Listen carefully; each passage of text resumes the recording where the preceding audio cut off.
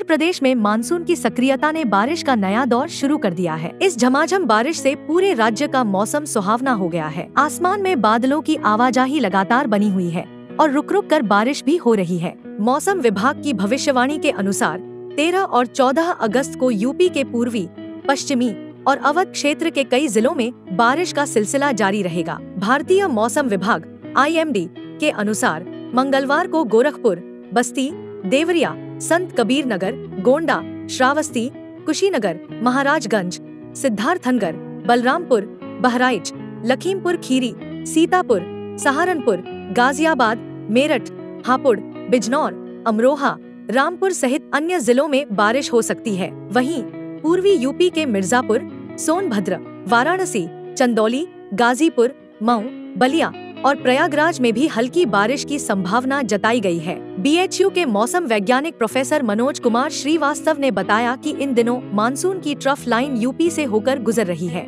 इस कारण पूरे राज्य में काले बादलों का डेरा है और बारिश का सिलसिला जारी है। उन्होंने यह भी कहा कि इस हफ़्ते पूरे यूपी में गरजमक के साथ बारिश का दौर बना रहेगा। सोमवार को वाराणसी, लखनऊ, आगरा और सीतापुर समेत कई जिलों में जोरदार बारिश दर्ज की गई। हालाँकि राज्य के कुछ हिस्सों में बाढ़ का कहर भी जारी है। बलिया में गंगा नदी खतरे के निशान से करीब दो मीटर ऊपर बह रही है, जबकि वाराणसी में गंगा का जलस्तर धीरे धीरे कम हो रहा है।